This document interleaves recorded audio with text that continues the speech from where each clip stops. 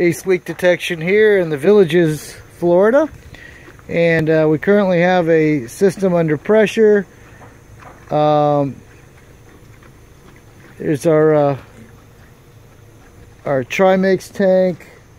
And we're pressurizing the pool returns uh, at this point and we're losing pressure and most of the time we need essentially like an electronic stethoscope to pinpoint where these underground pipe leaks are but sometimes it's it's quite obvious to us uh, where the pipe is broken. And I'll show you over here kind of sound that we actually listen for. Now this is a, a pool return right in this right in the center well yeah just about in the center of this fiberglass swimming pool on the wall here. You see our expansion joint. Straight down from the expansion joint is that pool return line right there which we have one of our mechanical plugs in there. And we're currently pressure testing that along with all of the other well there's two other pool returns here.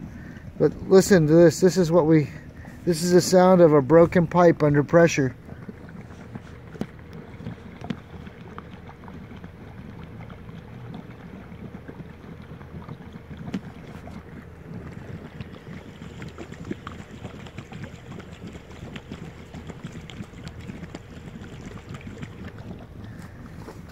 So we're gonna go ahead and saw cut the deck and jackhammer out a small area to access that pipe rupture and replace that section.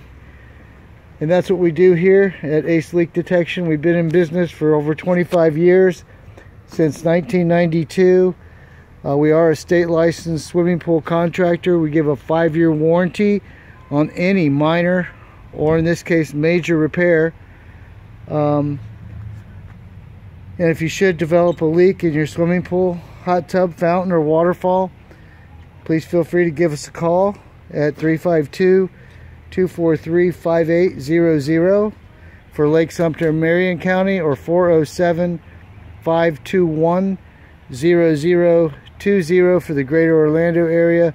We also cover a lot of areas out outside of those areas as well. So anyway, we're also down in uh, South Florida. But, um, or you can look us up online at aceleakdetection.com. Uh, thank you for watching. I hope you're having a great day.